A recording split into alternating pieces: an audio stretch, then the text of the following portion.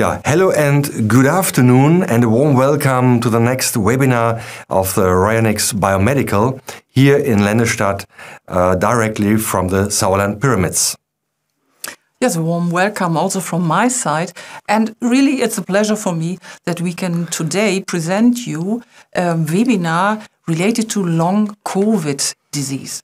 As you know, it's a pleasure for us to support you with coronavirus infection before, after, what to do, and how to support with the bioresonance according to Paul Schmidt. And today, really, we thought we need more experts. You know, both of us, we have a lot of experiences in bioresonance according to Paul Schmidt. But I think long COVID is so, so um, important and it's really in uh, all over the world very present that we need the support from experts.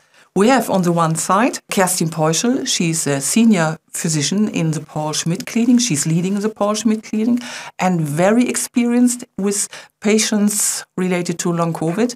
And on the other side, Gina Alberts. Gina Alberts wrote her master's thesis in uh, micronutrient therapy and regulatory medicine.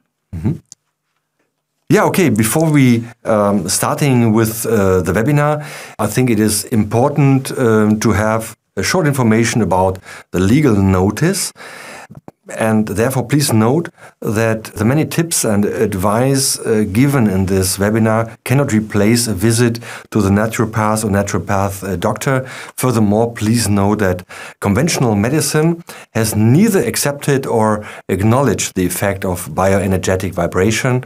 You know that we have already um, a clinical prospective, double blind, randomized uh, study, but of course, have, with having this, it is not automatically that uh, with this uh, gold standard study, um, the conventional medicine uh, accept um, uh, bioresonance or bioenergetic vibrations. I think this is very important to know. Yeah, another, uh, I think, very important information for you is that you can review uh, the webinar uh, because we are uh, presenting this webinar a little bit later, I think in the next days, also on the YouTube channel and um, also uh, on the Rayonex uh, wiki. That's the actual plan. Um, YouTube is, of course, very easy uh, to visit. You know, in your browser, you can uh, choose uh, YouTube. Then uh, you have to enter Rayonex in the in the search line. Um, pressing then on the playlists and uh, of course international and then you can click uh, the webinar. This is, uh, I think, really very easy. In case that you have problems with that, uh, contact uh, your international partner. I think we will work on that to give you the access to this webinar. Yeah, then uh, let's uh, start with the webinar of long COVID. Yes, before we start with our experts, I want to give you uh, a little bit numbers to have an idea what we are talking about. Meanwhile, we have uh, 26, uh, 26 million German people um, who were infected with coronavirus. Um, I cannot imagine how big is the number worldwide, but you can imagine in every country we have big, big problems.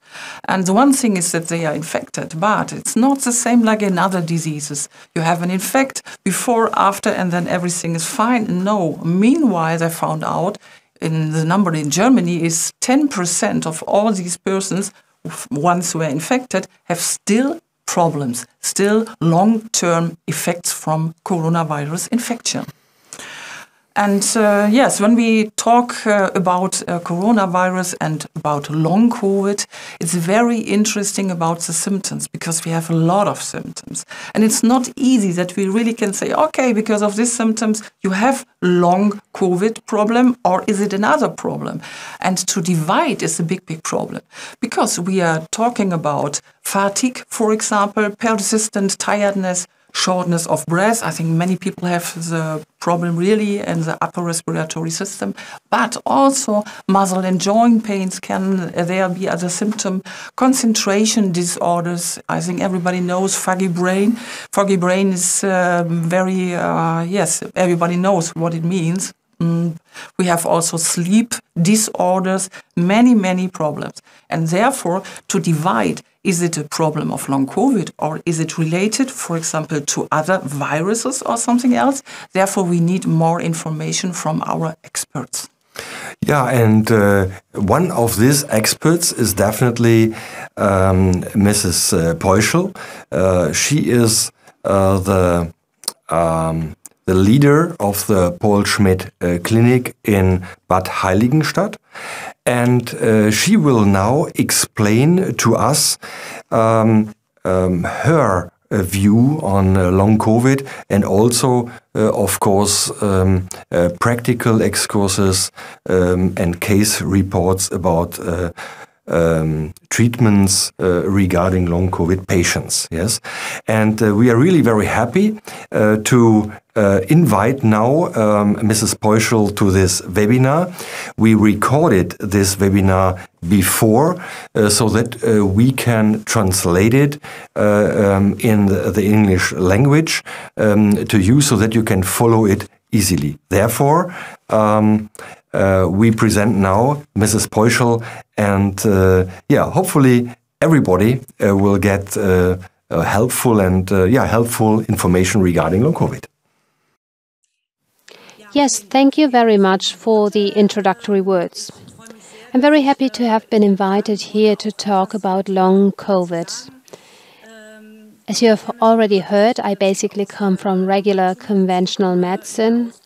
As far as my training is concerned, I'm a surgeon, a, a thoracic surgeon, and I've been working with bioresonance since 2002 and since 2016 in the clinic mentioned below. Long COVID is an important topic. For one to one and a half years, these symptoms have been observed and attempted to be treated. At the outset, I would like to say that you have to be careful. I would like to appeal to all therapists that one should not immediately assume the long COVID syndrome or post COVID syndrome, even if the symptoms fit. But that one should actually rather uh, look to determine whether there could be other illnesses causing these symptoms. Often things are overlooked nowadays because everything is thrown into the COVID basket. So it is very important to me that serious diseases or other diseases are not overlooked. Long COVID syndrome or post COVID syndrome is a very serious disease that has many aspects. I will try to outline this and then illustrate it with four practical examples. Sometimes there is a confusion in the definition, often also in the literature.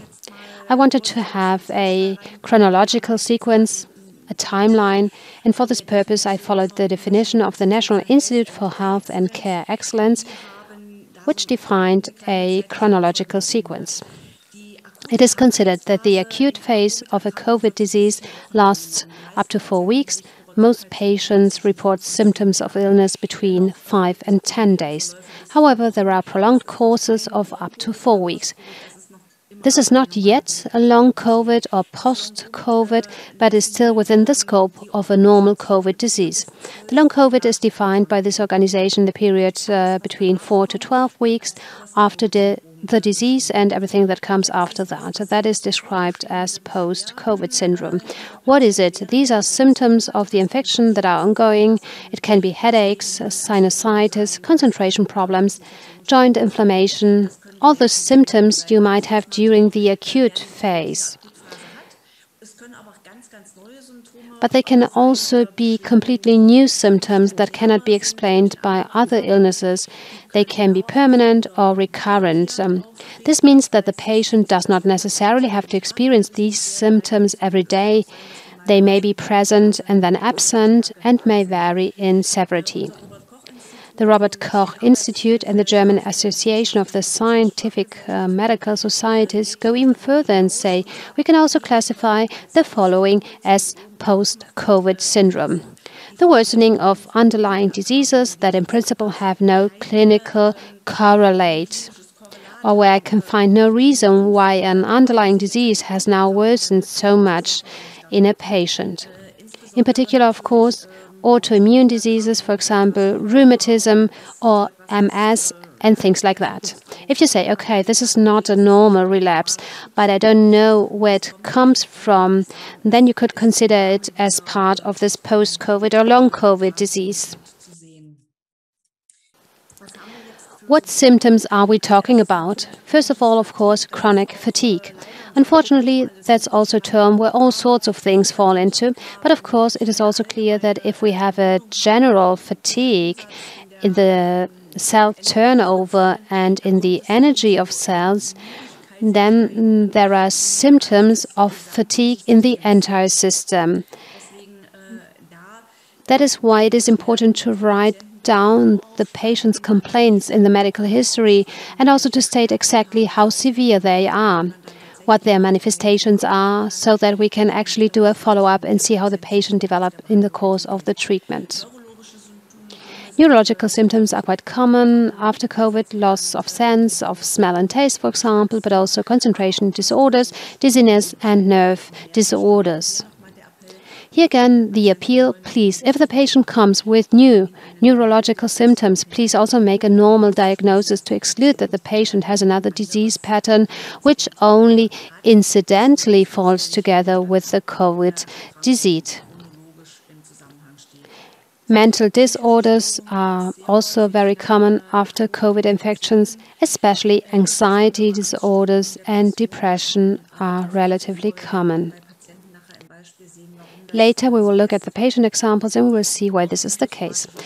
Also, psychosomatic disorders. On the one hand, they are caused by the patient now being very sensitized and listening very much to his body, but also due to the development of chronic pain syndrome caused by the imbalance of neurotransmitters. Of course, organ symptoms can also persist mainly in the target organs of a coronavirus, such as lungs, heart, but also the musculoskeletal system, the gastrointestinal tract, ear, nose and throat, and skin. Overall, it is said that post or long COVID syndrome results in a restriction of the functional ability in everyday life. The patient considers his or her overall quality of life to be impaired or even has a permanent disability due to the disease. For example, a loss of the sense of smell and taste. What I found important and interesting is that the 180 day mortality rate after the COVID disease is 30% in patients with a moderate to severe course of the disease. For example, patients who develop pneumonia or the like. That is very, very high. And you can see that such an infection can cause significant organ damage. The data collection of symptoms in long and post COVID syndrome is, of course, subject to errors. This is because at the beginning it was not known that such prolonged courses of the disease existed. And of course, one did not know what should be recorded in the first place. First of all, everything that could be recorded was recorded, and that was the right thing to do. But of course, there are also um, duplications. It has not yet been done within the framework of a structured study. But still, I think you can take these registered symptoms or findings to identify a trend. In the UK, 20% of COVID patients described a long COVID syndrome, and a relatively high proportion of them, one third, developed a fatigue syndrome. Then, a meta analysis was made of European data from all European countries with 50,000 patients. There you can see much higher numbers of long and post COVID patients. Much of the data comes from Northern Europe, but also from Italy. And we see that fatigue symptoms in more than half of the cases um, are present, headaches in 44%, and concentration disorders in 27%. So, a large proportion of neurological disorders, like uh, smell disorders, are present, and these kinds of disorders outweigh the local organ symptoms. For example, 24% shortness of breath.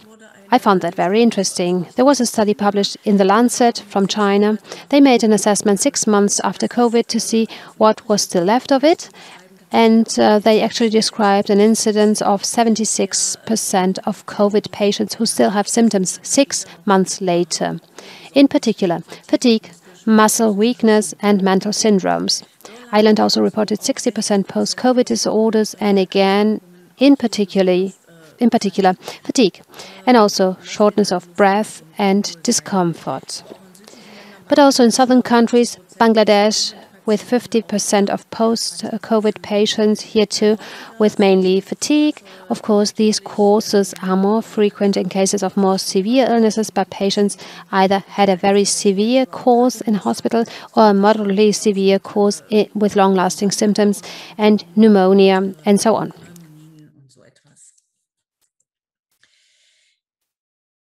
What is known? What does the virus do? It causes organ damage through inflammation.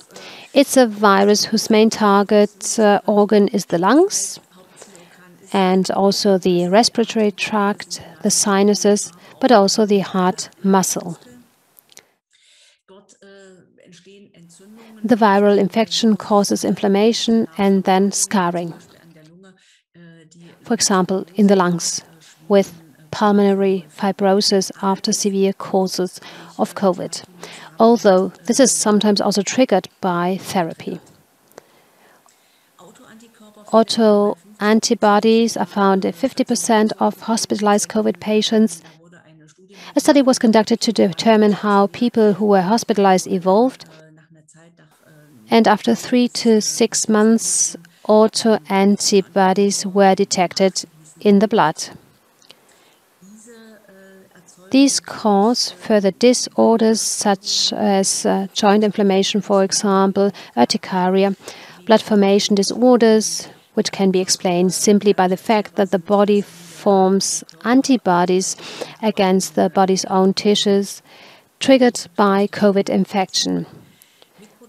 Also, microthrombi in the organs cause functional disorders in the organs depending on the extent and intensity of the disorders, which then lead to a wide variety of organ disorders. And what I also find important is the viral activation of previously inactive viruses. There are many viruses that survive in the body after initial infection. Of course, the herpes zoster virus in the nerve endings, or the cytomegalovirus, the EBV virus in the lymph organs, um, which are well known.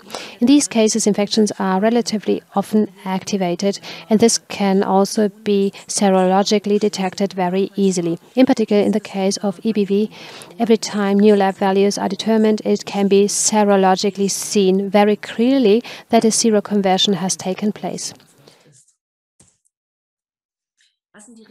What are the risk factors for the development of a long or post COVID syndrome? Of course, we already said that the severity of uh, the COVID illness in patients who have um, only mild flu like symptoms, this is not quite as uh, common or frequent as in patients who have had to be admitted to a hospital. It is also important to have more than five symptoms in the first week of illness. They come together relatively quickly cough, cold, hoarseness, joint and muscle complaints, headaches. That's already five. And then there is fever. So patients have at least five symptoms relatively often. Then, pre existing lung diseases, of course. I've only listed uh, bronchial asthma here, but of course, a pre existing pulmonary fibrosis or silicosis or COPD are also important risk factors.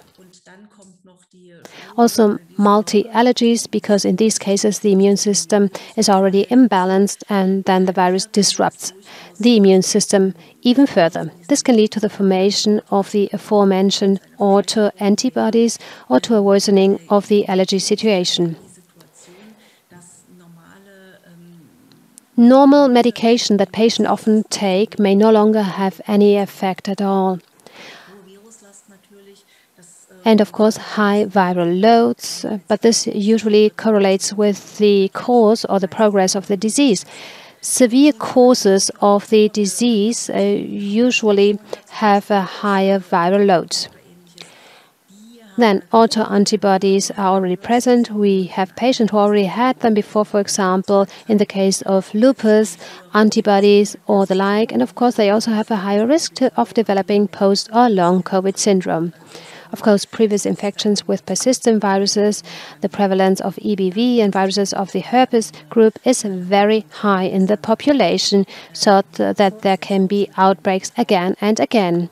Here it is worth having a lab check to say, okay, how is my EBV? And diabetes mellitus uh, and being female are also risk factors. You could uh, also include blood group A in brackets, which has a somewhat high risk of infection or spread of COVID 19. I've brought four patients, uh, patient, patient examples to illustrate that. Some of the patients are uh, patients that have already completed therapy and some are still in therapy. My first example is a 36 year old patient who is a full time teacher. She teaches sports and German at a regular school, is married, and has two children. Her previous conditions include pollen allergy and also allergy to metals, food, and dyes. That means a relatively wide range of allergies. Besides, there was nothing special about the patient's uh, previous condition. Well, the fact that she's a woman might also be a risk factor here. She was ill with COVID in January 2021 for a total of three weeks. She was treated at home, but she had a variety of symptoms. Initially, she had shortness of breath. Later, she actually developed COVID pneumonia, rhinitis, loss of smell and taste, also muscle and limb pain, joint pain, especially of the knee joints and also the ankle joints. She had subfebrile temperatures and intermittent headaches for almost the entire three weeks. So, as we can see here, she had more than five symptoms. The patient came to us for the first time in March 2022 and she reported post COVID syndromes, especially fatigue, and that she was constantly exhausted and tired. After the tiniest effort, she was really exhausted because she works full time as a teacher and has a household and children to look after. It has, uh, of course, been particularly difficult for the patient to manage everything and uh, to continue with her normal life. The headache was present every day in waves in different places, sometimes like a headache storm, sometimes more like a pressure, like a band around the head, sometimes starting from the back of the head. And she observed that her mental state decompensated very, very quickly. That means that she could hardly tolerate, tolerate the stress at work, at school, or also at home with her two small children. During sports, she's a sports teacher. She reported shortness of breath even when walking up the stairs. And the sacral sacroiliitis was very disturbing for her. It persisted and was sometimes worse, sometimes better. What did we find in the RAH scan? In the nutrient analysis, very clear changes in changes in iron. This is of course explainable. We need iron for our immune system. It basically guides our oxidation and reduction reactions in the body, in the metabolism. We know that iron deficiency leads directly to a degeneration of the T lymphocyte system. And we know that there are also blood formation disorders, especially in the formation of erythrocyte precursors. It leads to the infectious anemia, which is very well known. What is important mentioning here, uh, this was not the case with this patient, but nevertheless, it is very important that you check the iron levels and in case of doubt, do not give iron in an uncontrolled way.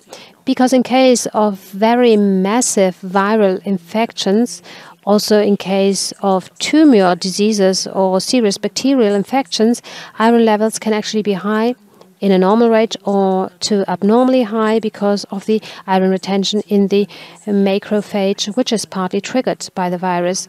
And if you then uh, supplement it with iron, you worsen the situation. You know that uh, this iron overload in the body in the course of an infection is always um, something that has a bad prognosis. So please be careful and determine the iron level first. Zinc is also important for T cell proliferation for the immune system in the area of the T lymphocytes. B vitamins are important for the entire metabolism.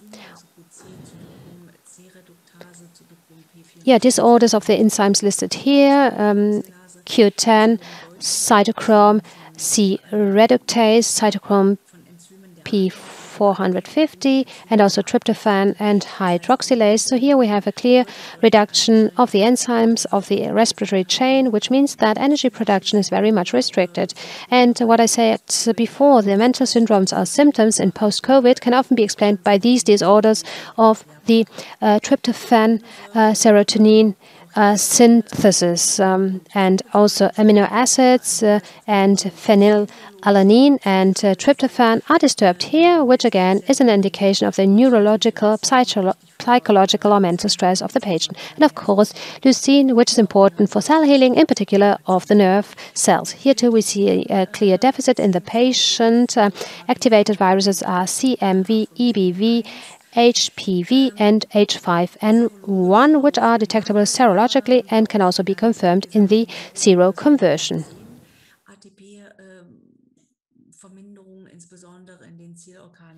ATP reduction, especially in the target organs, lung, spleen, liver, and bone marrow.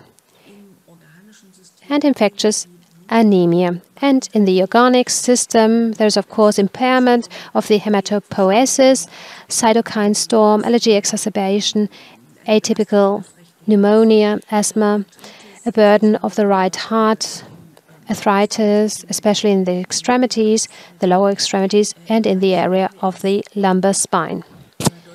Also, clear impairments of the autonomic or vegetative nervous system and the cranial nerves, but also disorders in detoxification and also visible psychological changes in the skin. What did we do? We gave the patients bioresonance therapy twice a week.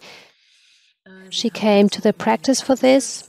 We used the scan to supplement the nutrients and amino, amino acids in a targeted way. The patient received an infusion therapy with a focus on cell respiration, on the lungs, of course, and the immune system, and re the reduction of inflammation. And because of the disrupted cell respiration and energy production, we decided to do an intermittent hypoxia hyperoxia therapy. In principle, this is a targeted mitochondrial training where the patient is exposed to hypoxia for a defined period of time and is then given hyperoxia in the next phase. This then changes about 10 20 times during the course of the therapy. The aim is to train and activate the mitochondria and uh, cellular respiration again. In particular, to have an effect on the Q10 and the P450. The patient also received a nosode therapy in relation to her EBV infection because of the very high values seen in the lab. The end of treatment was in May 2022, and the patient has completely recovered from long COVID and post COVID. The second patient example is also a female patient who is an office worker, lives in a shared household, and has no children. Like in the previous case, again, we have various allergies to certain foods and preservatives. The patient had a COVID disease in May 2021, but with a relatively mild course. She said, I had very mild symptoms for about five days with a cold, a bit of a cough, a bit of a scratchy throat, and then it was all over. All in all, I felt a bit bad for about two weeks. Uh, I just slowed down a bit, but um, in the end, I overcome it quite, uh, overcame it quite well with mild flu-like symptoms. In September, the patient was symptom-free. Then she developed sudden heat and cold urticaria without any reason. This means that every time there was a change in temperature, whether it was a shower, a change from one room to another, or a change between indoors and outdoors, the patient developed urticarial symptoms or blisters all over her body. She then went to her GP. She, uh, well, the GP did a blood count, found anemia, and a significant uh, drop in platelets, which um, actually required normal conventional medical treatment. She had an enlarged liver and spleen on ultrasound and complained of arthritic symptoms in the joints of her hands and fingers. The patient then reported flickering vision. At first, she couldn't associate this, but then she said, Yes, actually, this had been going on since September. Uh, I also had increased dizziness and thought it might be due to my blood pressure, but blood pressure was actually okay. She said I had dizziness, disorientation. Sometimes I didn't really know where I was. So this patient did indeed have auto antibodies in her blood. The patient had uh, then came to us in November 2021. In the scan, we saw the activation of EBV and, of course, organ-specific aspects like bone marrow, for example. This is logical given the hematopoietic disorder and the platelet drop. Also, allergy activation, alteration of the immune system, and also vegetative and other stress could be seen in the patient. When it comes to organ specific aspects, joints, CNS, liver, kidney, and a distinct detoxification disorder.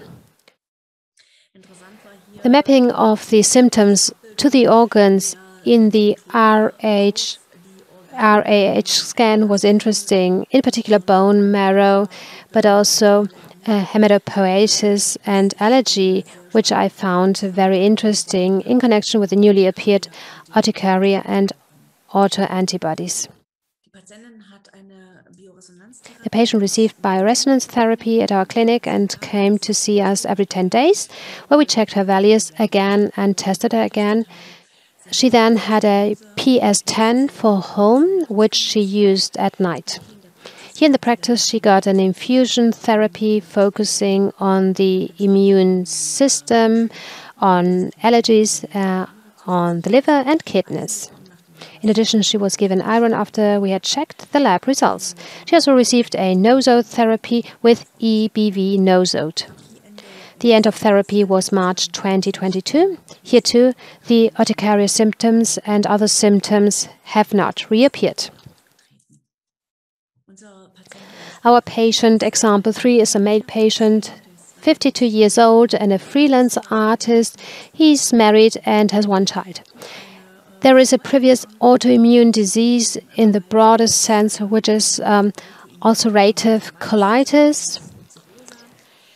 The patient also has a metabolic syndrome despite his relatively young age and bronchial asthma since childhood. This patient had a COVID disease in December 2020 with a very, very severe course, started right away with shortness of breath and cough. Three days after symptom onset, he already had to be on ventilation and later had ECMO therapy, followed by multi organ failure. The patient was in the intensive care unit of the hospital until April 2021. The patient then came to us in May 2021. His symptoms were the following severe fatigue. He could only concentrate for a short time, like 10 to 15 minutes, after which he virtually fell asleep at the table. He had very, very severe shortness of breath, even with the slightest effort. when walking uh, in a straight line, he had a big challenge. Um, he had various edema, especially in the extremities, but also ascites, also muscle and joint disorders. He reported severe pain daily, especially in the legs. So, what did we find in the scan? We found energy deficiency in all vital organs, which is, of course, also an expression of this extreme fatigue. Um, as well as, of course, disorders in the immune system, liver, kidney, lungs detoxification. On the one hand, this is to be expected after multi organ failure. But it also clearly shows the inflammatory changes that the viral disease causes in the organ systems. What did we do with the patient? We started to treat him every three days here in the clinic. During therapy here, he received an infusion therapy each time, focusing on the immune system and, uh, of course, also on de detoxification, on liver, kidney, and heart. In addition, he also received oxygen therapy according to Professor von Ardenne and intermittent hypoxia and hyperoxia therapy to simply reactivate the respiratory chain, to train the mitochondria again, and to simply provide the patient with more energy. In addition, this patient also, also received a homeopathic co treatment. The therapy is in the process of being phased out. We see that the therapy started almost a year ago. There has been a clear improvement. The patient is able to function in a normal life again. He can walk normal distances. He can do his job again.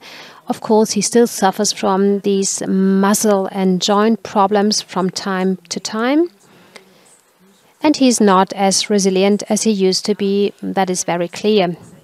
And that is why he's still in therapy. But this shows that you sometimes need a lot of patience to actually treat this post COVID syndrome. The patient's proneness to edema has completely disappeared, which is very nice. So he's doing much better overall, but we'll need a little more time here. Our fourth patient example, a female patient, 46 years old, occupational therapist, single, one child.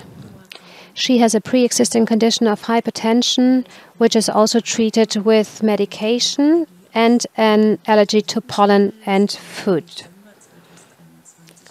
She was ill with COVID in December 2021.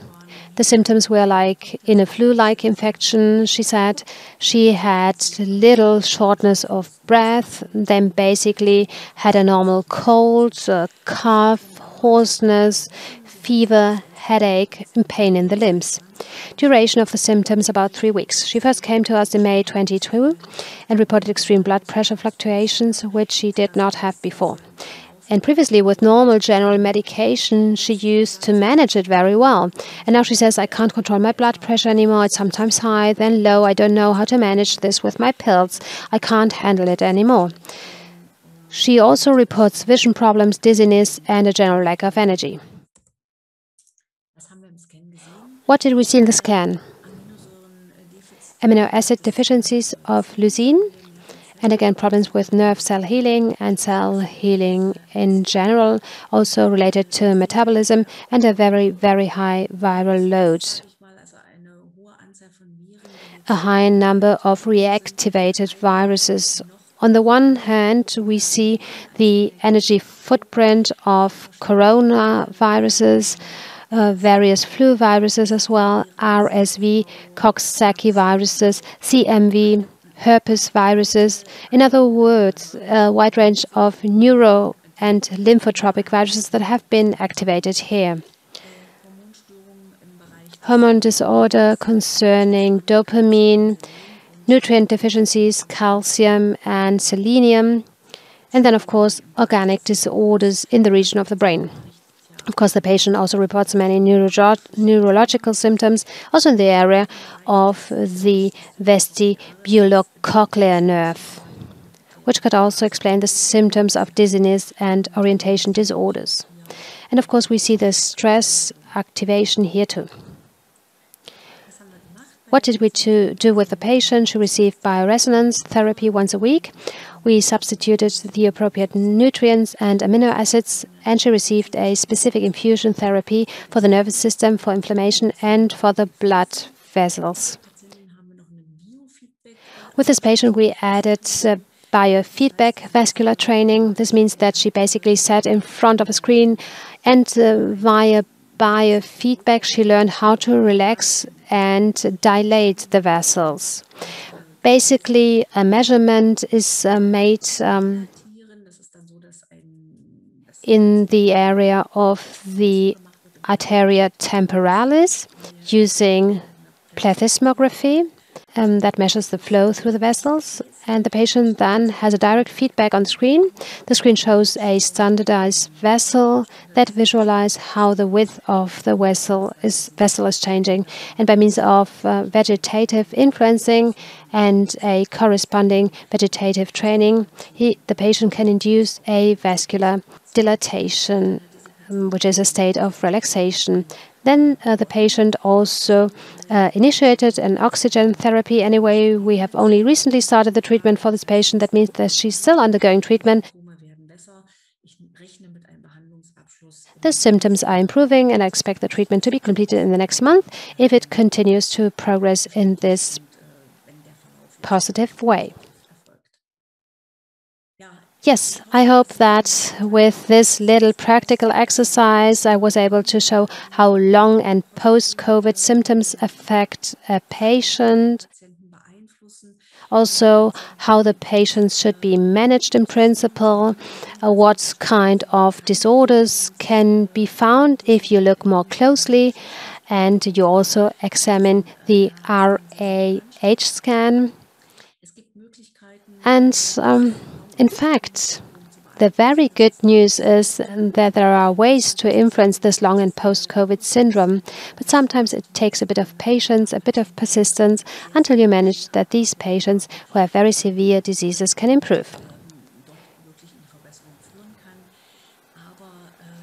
But I think one can and should definitely do something about it because the patients really need help it is very difficult for them to get out of the situation on their own. So, thank you very much for your attention. Please feel free to ask questions via the clinic's website, and thank you. Yeah, thank you so much, um, Mrs. Uh, uh, uh, to all this, uh, I think, very helpful information uh, regarding long COVID, and especially uh, the case reports are very impressive from my point of view. Yeah, yeah. Therefore, now uh, we are going uh, over to the next step. Yes, it's a pleasure for me to offer you uh, one more opportunity, for example, for an active support for yourself. Because uh, when we talk about nutrition, about minerals, vitamins, you know that it's very important to have this in the body. But now, in this situation with long COVID, we need more. We need more support, and sometimes it's not enough uh, only to take care for good food or organic food or something else. No, because um, it's so strong. Uh, what happens um, when you have these long COVID symptoms? You have to support it in a better way. And um, for me, really, it's a pleasure for me to give you uh, an expert to your side. And I told you in the start that we have uh, Gina Alberts here. And Gina Alberts, she wrote her master thesis, and she really will give you a good support and explanation to minerals, vitamins, how, when, why to take and to eat. Therefore, it's really a pleasure to have her lecture today. Good evening from my side as well. Today I'm here at the webinar in a different role. Most of you might know me from the veterinary division of Rayonex company, but as I just explained, I've been doing my master's degree in nutritional science at the side of my job and I've been doing a lot of work on the subject. And of course, during the COVID period, I've also been looking into what we can ultimately do to get through this time and to support people who have already had an infection. And we have already heard a lot from Mrs. Bunkenburg for example, about all the symptoms that can occur after COVID infection. And I would like to give a small and brief insight into how important it is to look into our bulk elements and trace elements, but also into our vitamins and amino acids. And of course, I can only cover a small part of it. First of all, I want, I want to try to give an overview about what is important and about what levels I might have to have tested in order to see whether uh, my levels are okay. On the first slide, we have zinc, copper, manganese, and selenium. These are the ones I've chosen and which could be important in the case of a long COVID problem. Regarding long COVID, there has been a study from the University of Mainz that showed that 40% of people who were infected with COVID uh, showed long COVID symptoms afterwards. Symptoms that last at least six months, because that's when you would speak about long COVID. Before we take a closer look at the bulk and trace elements, I think it is also important to understand what actually happens in such an infection. You can imagine it as follows The body comes into contact with the virus, which causes strong stress. The sympathetic nervous system is activated. So, on the one hand, we have the parasympathetic parasympathetic nervous system, which stands for relaxation, and the sympathetic nervous system, which activates our escape mode, so to speak. And when this is permanently activated, the formation of so called nitrogen radicals increases. With regard uh, to COVID, uh, we should mention uh, peroxide nitrite, which I will come back uh, to in a moment in relation to vitamin B12. So we have the sympathetic nervous system that is firing constantly, and this leads to the formation of many radicals, and our body has to fight against them uh, because these radicals, these nitrogen compounds that I just mentioned, can't cause blockages in the respiratory chain of our mitochondria. Um, those are our energy plants, our little power plants in the cells. It blocks the creation of energy at the cellular level, and ultimately, we have an energy deficiency that leads to the body being unable to defend itself at some point. And that is why it is so important that we look at these cofactors of our respiratory chain and the citrate cycle. That is everything that give us, gives us energy. What are the cofactors? What what can I do to support my body in the best possible way to counteract these radicals and thus counteract the lack of energy? Cofactors for the uh, citrate cycle in the respiratory chain are, for example, all B vitamins, B12, which I will address again in a moment, uh, which has a special significance. Then we have uh, magnesium, iron, copper, and manganese, zinc, Q10, uh, carnitine, and some other amino acids. So that's quite a long list. And we can look at how the levels are for each individual, which is why doing a lab uh, diagnostic makes sense in any case. Now we're finally getting to the slide, but I really had to talk about why you use the bulk and trace elements. Zinc is extremely important for our body. It is involved in over 300 enzyme and coenzyme processes, so it is everywhere. Um, with regard to COVID, it inhibits uh, the virus from entering the cell in the first place. So it inhibits its entry into our body cells. At the same time, it promotes the T cell defense and our natural killer cells. These are the cells that uh, work um, against the virus. So it works in two different ways. And of course, what is additionally very useful with corona or with COVID is that it inhibits inflammation, meaning it inhibits uh, the release of various mediators that trigger inflammation. That's how you can visualize it. And what is very, very important, we also have the uh, superoxide dismutase. Um, it is an enzyme that is responsible for the degradation of radicals. I've already said that the activation of the sympathetic nervous system system leads to the production of more radicals, which are produced um, physiologically by various enzyme processes in the body in a normal way. But when we have a lot of them, we have a overload. And the enzymes, uh, such as uh, the SOD, the superoxide dismutase, uh, are then increasingly depleted or consumed because we have more waste, so to speak, and we have to support the SOD.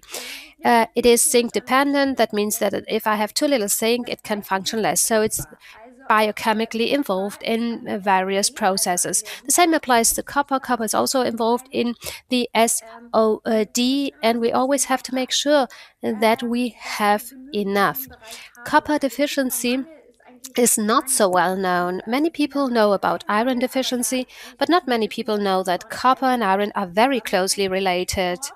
There are typical symptoms of copper deficiency that you can look out for yourself. For example, uh, a copper deficiency can cause fatigue, general muscle weakness, hair loss, which is also something a lot of people report after a COVID infection, because copper is generally responsible for the repair of the organism.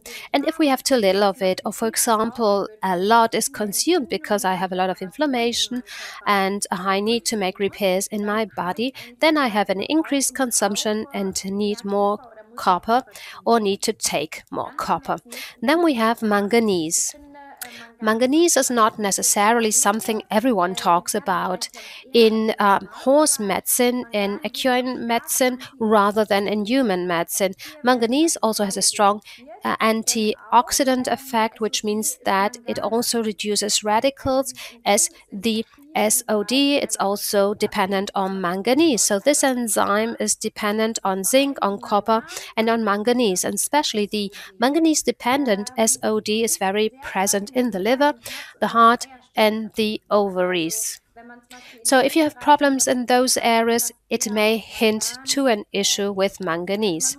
So, you have to study it biochemically, putting it all in relation to each other in order to have an idea of what you need. Um, of course, all of this can also be measured.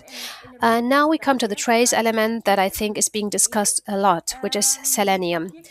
Here again, I can say in horse medicine, it is also a trace element that is very much discussed.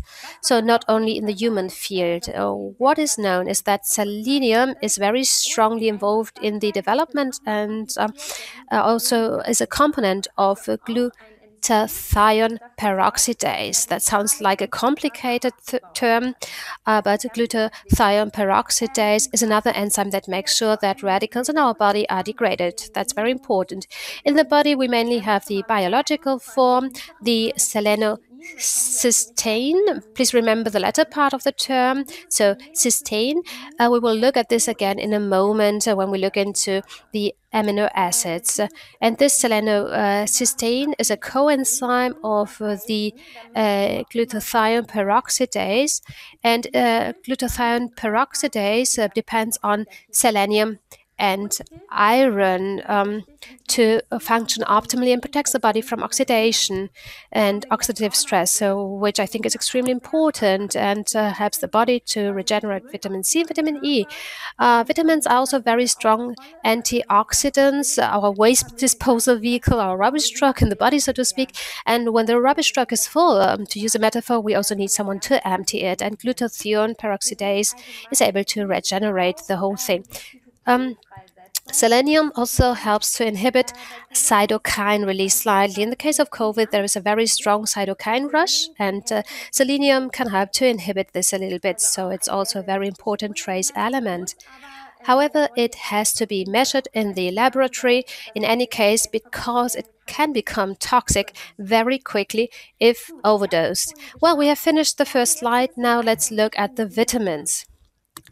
I believe that most of you who have already dealt with COVID, including long COVID, are familiar with uh, vitamin D. Vitamin D has many functions. For example, it has quite a lot of functional receptors on the various immune cells, which means that actually almost all immune cells are equipped with receptors for vitamin D. And that actually already shows how important vitamin D for the, is for the immune system in general. That means that if I have a vitamin D deficiency, which many people have, especially in the winter months, and uh, you also can see that COVID figures were higher in the winter months months than in the summer months, and this, that might also have something to do with the vitamin D deficiency. In general, we can say that vitamin D has an inhibitory effect on the uh, Th1 cytokines. Um, this uh, means uh, that these cytokines have a pro pro-inflammatory effect. Uh, they stimulate inflammation in the body. They are therefore inhibited by vitamin D, and the Th two cytokines, which have a more anti inflammatory effect, are promoted. This means that uh, vitamin D brings the whole organism and the immune system back into balance between inflammatory factors and anti inflammatory factors. That is very important. And with the long COVID symptoms, uh, there are always chronic inflammations in the background. That means that the body can no longer heal properly, and vitamin D definitely plays an extremely important role here.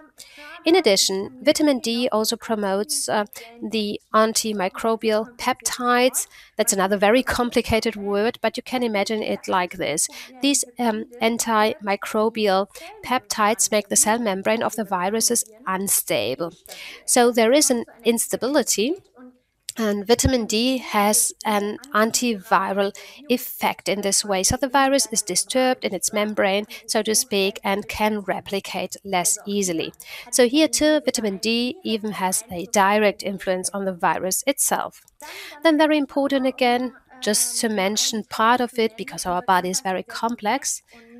Um, biochemically, for example, it's very important that we have enough magnesium to convert um, vitamin D into its active form in the body. So, if certain factors are missing in this conversion process, it doesn't help to take a lot of vitamin D. You always have to consider the whole picture. So that was the topic of uh, vitamin D. And now we have vitamin C. Vitamin C is very well known. It is a very strong antioxidant, uh, so it really protects the cells from uh, radicals and is uh, reduced by glutathione. And it has even been clinically proven that vitamin C significantly reduces the vulnerability of the lower respiratory tract and the associated uh, mortality rate in severe lung infections. So, vitamin C can really be great to reduce severe causes of the disease, uh, but also later on when there are still COVID symptoms, uh, and I have, for example, fatigue, chronic pain, which is something that a lot of people report, it may well be that there is a vitamin C deficiency because the infection has depleted a lot and maybe it needs to be supplemented. Then we have vitamin A. Vitamin A not only helps your eyes, I think everyone thinks of that immediately, but it generally serves to protect the barrier function of our mucous membranes. So it would actually uh, make sense to have a good vitamin A level before I have an infection, but of course, it also makes sense to take vitamin A afterwards when the mucous membranes are attacked. It induces the glutathione peroxidase, which means it promotes its formation. In other words, it stimulates gene expression so that it can be read, that it is more prevalent, and therefore vitamin A is also indirectly involved in the reduction of oxidative stress. So that's something you should not forget. Vitamin A is converted in the body to retinoic acid, which is an active form of the body. And uh, it has been found that retinoic acid inhibits the entry of the virus. So, here too, there is an effect on the receptors. Our cells have different receptors where the virus can enter the cell, and retinoic acid acts exactly there and blocks the receptors so that the virus cannot enter the cell and infect it. In addition, some studies have shown that uh, vitamin A or retinoic acid can greatly reduce inflammation markers such as CRP. We can therefore use it uh, very effectively. After all, we have some inflammation, be it in the case of an acute infection or is, as in our example with long COVID, where we always have chronic inflammation. And vitamin A definitely does make sense here too. And then there is uh, vitamin B12, which is extremely important to me. I already said that our sympathetic activation produces various radicals, such as uh, peroxynitrite and um, vitamin B12 is absolutely necessary for its degradation. This means that good vitamin levels um, are extremely important, especially in older age. There are various studies that show that older people already have very low vitamin B12 levels. When it comes to nutrition, you also have to look at how you eat uh, to see if you need to add vitamin B12 on a permanent basis. In addition, oral absorption is not very good, which is why you have to use higher amounts to achieve good levels or have the doctor give you an injection or something similar. Vitamin B12 has a strong effect against nitrosative stress, which means against radicals. It is a natural antagonist and should therefore be present in sufficient quantities. For example, if I have too much of those nitrogen compounds uh, I just mentioned, nerves can be irritated, uh, it can have a damaging effect on blood vessels, and uh, it generally inhibits ATP production. So, here again, uh, we have uh, the problem of energy deficiency, our mitochondria no longer function properly, and this is uh, also where vitamin B12 comes in. So we have taken a look at uh, the uh, bulk and trace elements. Of course, I can only cover part of them. I've simply chosen the most important ones that need uh, to be looked at in more detail. And now let's take a look at amino acids. First of all, we have lysine. Lysine is a strong antiviral and has an antagonism to L-arginine. Um, L-arginine is the amino acid that the virus needs for replication. So that's what it likes to eat. And uh, lysine is the antagonist. This means that high lysine level uh, displaces um, L-arginine. And if we now imagine that we deprive the virus of food, we also have an indirect effect on COVID and is therefore very helpful. Lysine generally increases immunocompetence, which means um, that we have a better antibody production and the body can defend itself better against various infections. So, it generally impro improves the immune system. In addition, a study has shown that inflammatory messengers can be very strongly reduced by lysine and that within a few hours. So, it has a direct influence on the virus and also, and we may have heard this before, it has an influence on possible herpes relapses. The COVID infection can trigger various latent stresses in the body, and um, lysine also lowers the lowers the entire viral load of herpes, for example, which is why it also makes sense to take lysine if you have COVID symptoms. What I'm about to say is certainly very, very important for many people. Too much coffee inhibits lysine absorption, which means that increased coffee consumption without additional lysine supplementation can be problematic because it causes the levels to drop very sharply. Lysine is the antiviral amino acid that we should have in mind and look out for. Next, we have L-glutamine in my studies, it was used a lot for the intestinal mucosa, in the case of leaky guts, for example, because it helps with the regeneration of the mucous membranes. But it also provides energy for the immune cells, so it really is the food for the immune cells, and for this reason should be also included at high doses. Glutamine is also a component of glutathione. We have already heard about uh, glutathione uh, in the glutathione peroxidase. Uh, it is a very powerful antioxidant in our body. Uh, it is um, made up of three amino acids, which is um, uh, glutamine, uh, cysteine, and glycine. All three should be present, of course, so that the body can produce it on its own. And that is why uh, it is very important. Um, Glutamine, for example, boosts our killer cells, which means it also indirectly boosts our defense. Next, we have cysteine. Um, uh, we have the N uh, in brackets, which is used in therapy because it is more stable.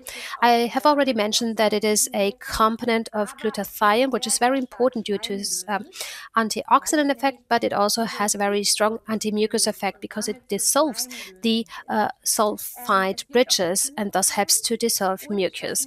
It uh, also has an anti-inflammatory effect, and what I find super interesting is that cysteine also breaks down the disulfide bridges of the virus itself. This means that the virus becomes less infectious, so it also uh, directly affects the virus itself.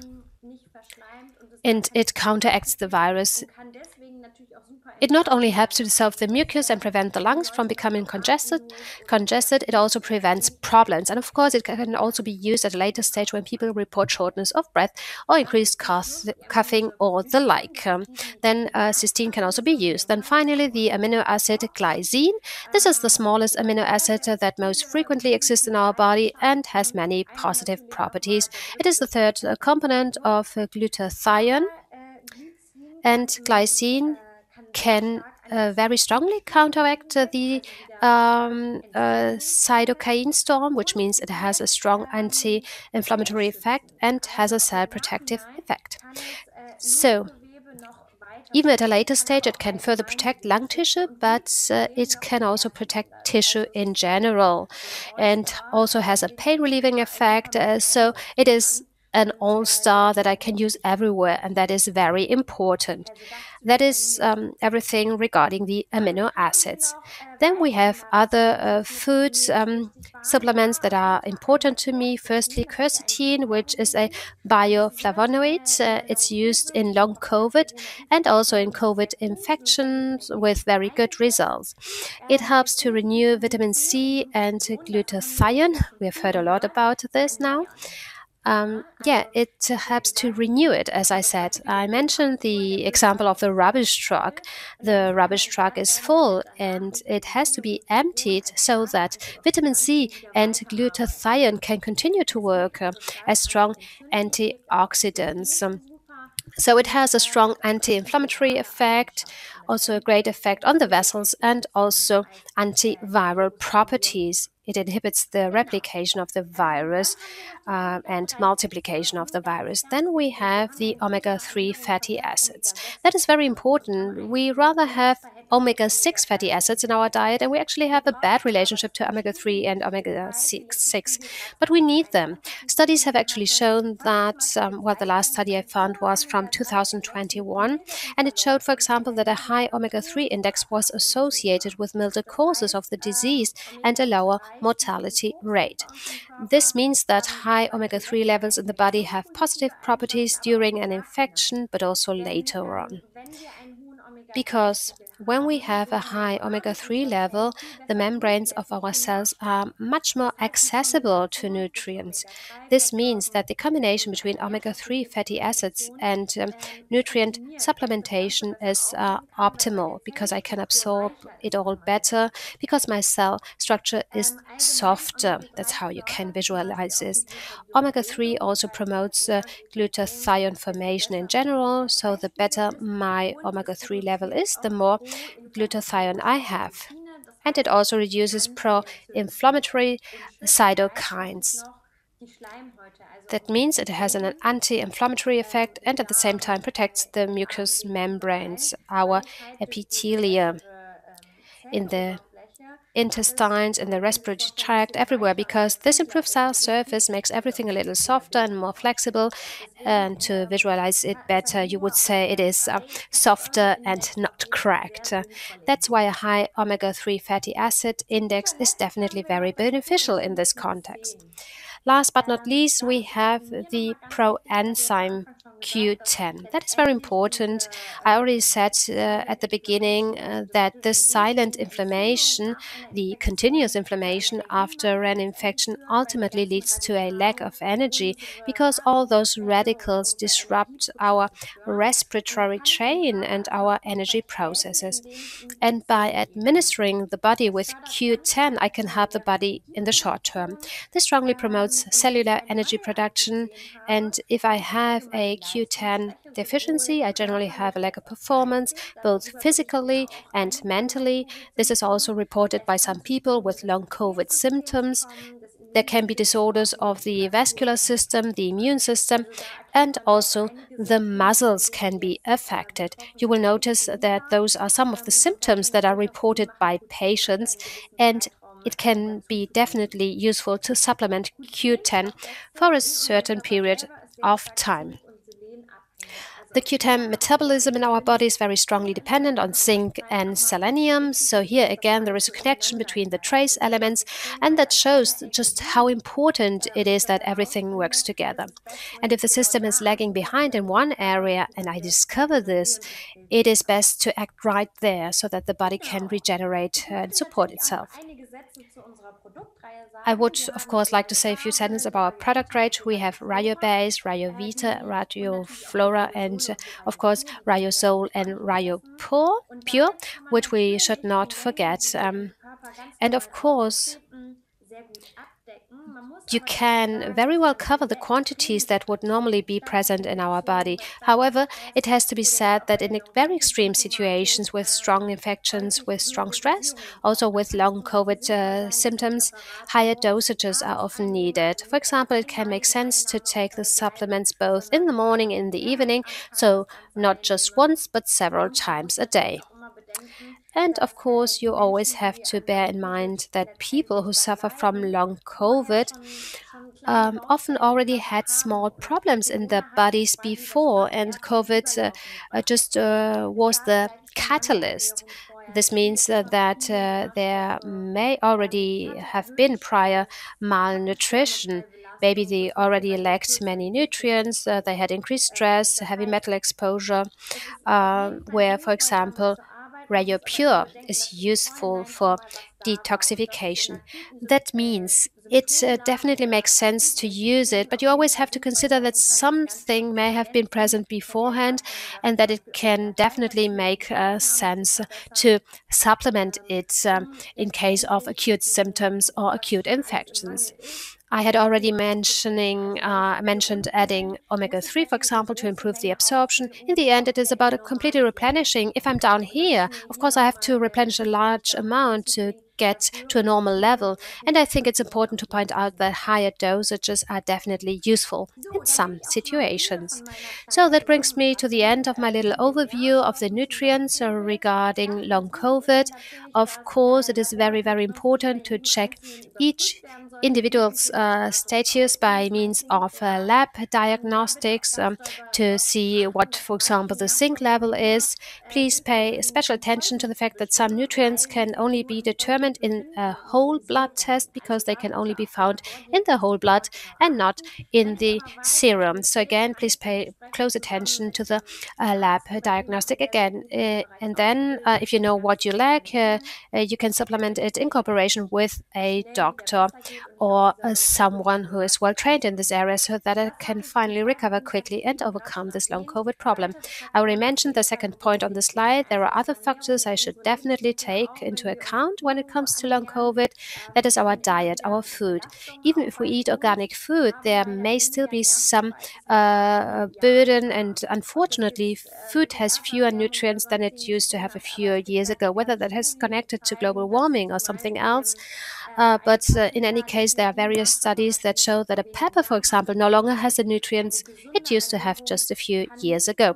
This means uh, that a healthy diet cannot always cover everything, and then supplements have to be taken. Well, in the end, micronutrient therapy can be a very good support for patients suffering from long COVID symptoms, especially if I focus on the causes. So that means if I really look at which biochemical processes are lacking, where can I quickly help uh, the body to regain its uh, self regulation and reduce inflammation. I wish all those who suffer from this problem a speedy recovery and thank you for the opportunity to be here today on a different uh, mission and uh, leaving my comfort zone of the veterinary field for a while. And I now hand back to Mrs. Bunkenburg and Mr. Heimes. Thank you so much. That was so interesting for us. And I'm sure that everybody now is thinking in another way about nutrition, about minerals, vitamins, and hopefully it's helpful for all our long COVID patients. Mm -hmm. Yeah, um, it was really very interesting um, to to have all this information regarding the uh, the nutrition um, and what is possible uh, to to do uh, because this is also uh, a very easy way of uh, of helping uh, when you have um, long COVID. But I want to come back to um, the programs uh, we are using regarding long COVID. Uh, Ms. Bunkenburg. Yes, we told you that we also want to support you with using bioresonance according to Paul Schmidt. You know, that is our aim to support many people with our frequencies. And you know, we are very successful when we talk about uh, bacterials, virus, giving energy, detoxification. And therefore, our recommendation for the program you can see here on this slide. We are starting normal with analyzed preparation, vitalization, acupuncture, that is for energy. And then we really give you the recommendation also to integrate enzyme Q10 enzyme Q10, I think most people of you know, is very strong related to ATP, also to energy. What we can do is that the, um, we cannot give you the enzyme directly, but then it's easier for you to take this enzyme from nutrition or also to produce it in the organism. Next thing is enzyme cytochrome P 450, that is for detoxification, very, very helpful. L-serine is an amino acid you need because um, when you have trouble with virus, the virus need L-serine, then you have no L-serine and you need for producing other amino acids. Mm -hmm. Then we have uh, 2020.10 double-stranded DNA viruses. Inside of this uh, thing, I will tell you later what kind of virus are in this program. Interesting coronavirus, we give you ATP complete. Scar interference, you know, we have uh, at the bronchies, for example, scars after COVID. That is a very, very strong problem. Acute local inflammation, we are not talking only from the upper respiratory system. You can have this acute inflammation everywhere in the body. We are talking of lymphocytes, because of the immune system, but we are also raising the defense capacity with our programs. And then we integrated the heart, the respiratory system, also the kidneys, very interesting, but the nervous system, nervous system is very special and really strong problems from this virus are in the nervous system. Psyche, stress reduction, and then the basic detoxification as you can see, it's a little bit longer than we normally recommend programs, but our recommendation is to do that in the night, meanwhile you're sleeping. Mm -hmm. In case that you have the problems in another physiology, but it's possible, then please integrate in this program. Mm -hmm. Yeah, yeah, it is really true. Uh, our recommendation um, regarding uh, long COVID harmonization is a little bit longer than uh, in a normal way, and therefore it takes a little bit more time. And uh, all the RAH numbers you can uh, see here on the chart are, of course, um, uh, frequency uh, uh, programs. It means this is a combination of different uh, uh, frequencies uh, summarized in this RAH program. And when you are inside this RAH program, then in the Polar uh, 40 or in the Rayocomp PS10, you can harmonize with the related frequency spectra your body. And um, uh, we said already that uh, our recommendation for long COVID uh, harmonization is a little bit longer, and therefore, of course, it is um, a fantastic idea to work here in this way uh, with, uh, for example, a Rayocomp PS10 Basic. Yeah, a Rayocomp PS10 Basic with a green card. Meanwhile, not only here in Germany totally successful, it is also an international uh, usage we have here regarding the polar, analyzing energetic programs, uh, giving this to the green card and using it on the on the basic then, uh, especially at home. Um, many, many, many uh, naturopaths and uh, medical doctors are using the PS10 Basic uh, then for home therapy, and this is of course totally uh, comfortable uh, for the patients because they have not to visit permanently um, the the clinics. Yeah, and um, that means uh, we have really a very clear recommendation. Um, I'm using um, this in uh, for for for myself and for for my family uh, in the same way. PS10 on the bedside table, then the green card with a program on it, and you can sleep then uh, uh very nicely um, directly on the on the detector. Yeah. Um, you know uh, where are the, the big advantages of course, um, when you when you treat yourself when you sleep, you are not, uh, I will say, wasting your time. It is a big advantage uh, to sleep and to treat at the same time. Yeah, and of course, when you have the PS10 uh, Basic with this green card at home, uh, you can treat all your family members uh, at the same, not at the same time, but with the device, so that um, everybody uh, in your family can participate the usage uh, of the Rayocomp PS10 with the long COVID uh, program. Yeah, this is our clear um, uh, recommendation uh, how to use. Of course, you can you can use uh, the the Rayocomp PS1000 Polar 40 with the green card or the program directly in your clinic. that's that's clear. But um, for especially we have we heard it already, we have hundred thousands of patients, and therefore it can be very helpful uh, to use this system at home also.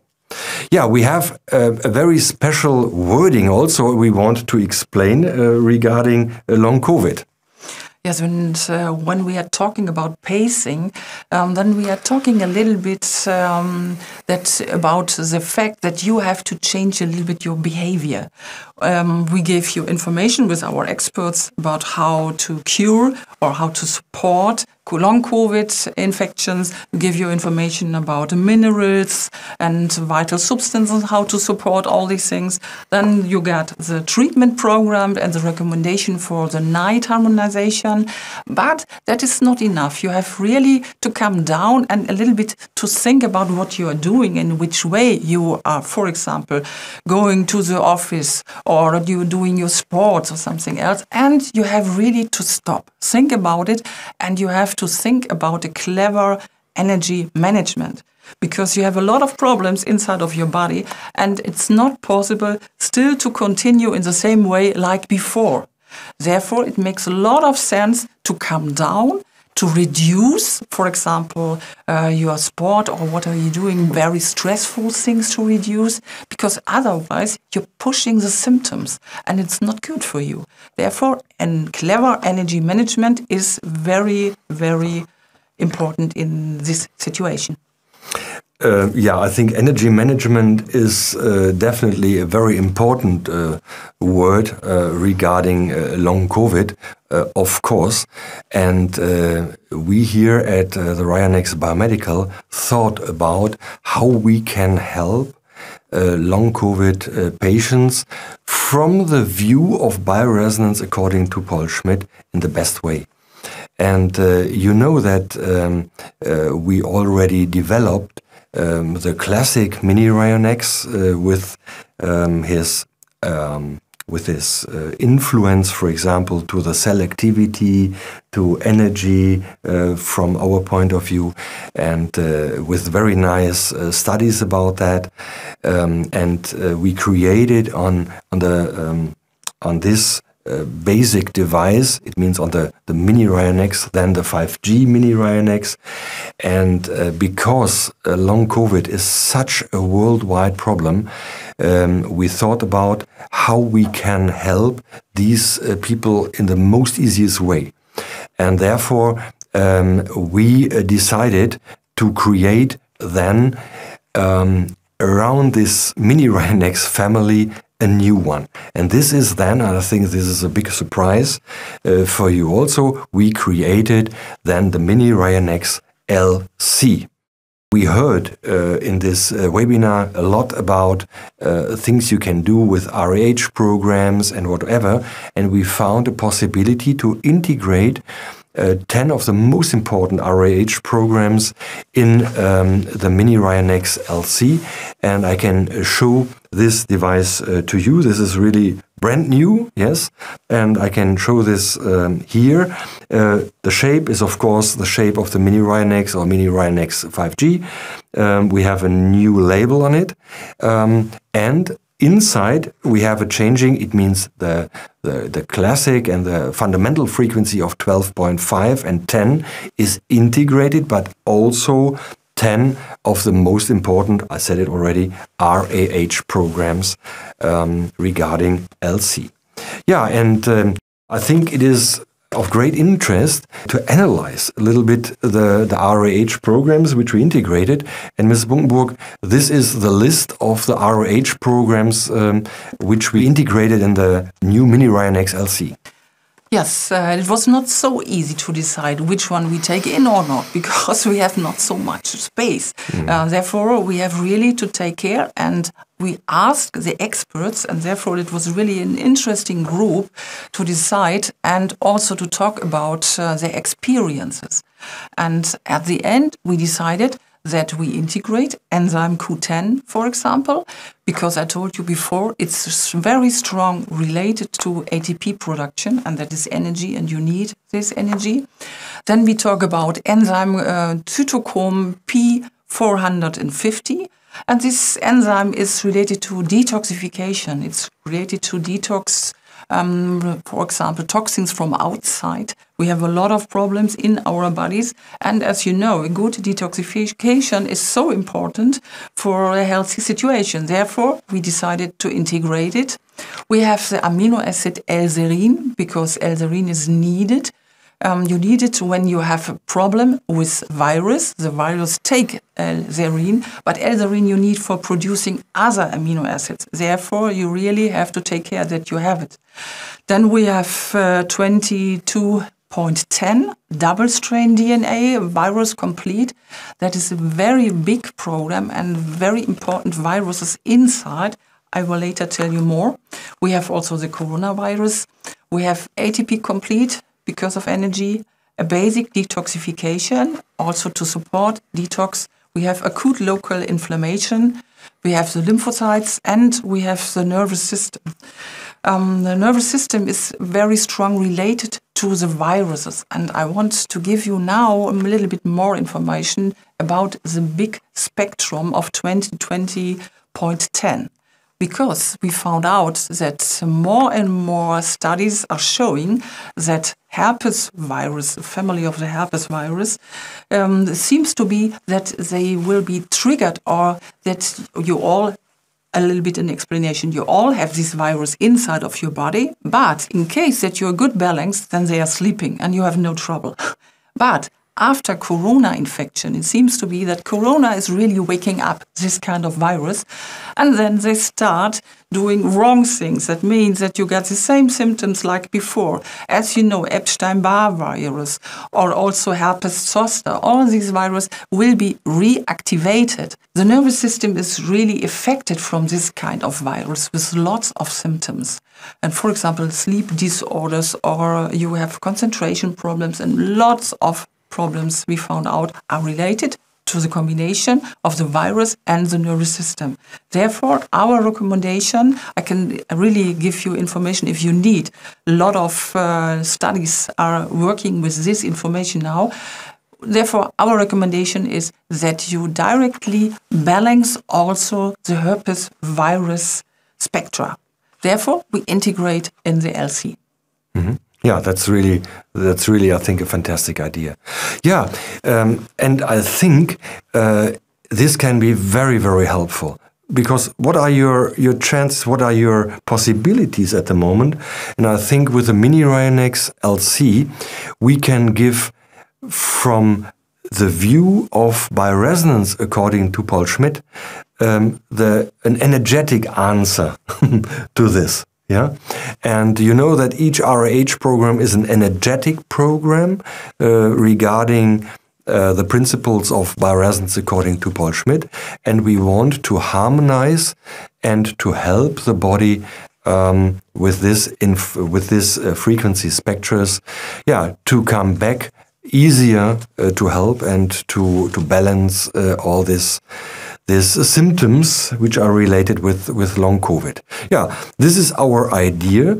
Um, we hope that uh, all the information you got uh, in this uh, webinar uh, from uh, uh, Mrs. Uh, from um, Mrs. Alberts, but also directly from us, um, are helpful um, in covering a little bit these uh, symptoms of uh, long COVID, and uh, that the, the new Mini Rayonex LC will help also as a portable device um, to, to harmonize uh, these uh, influences also.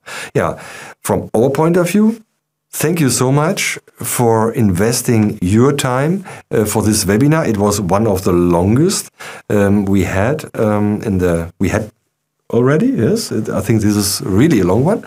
Um, but again, thank you so much, and please take care of you. Bye bye. Bye bye.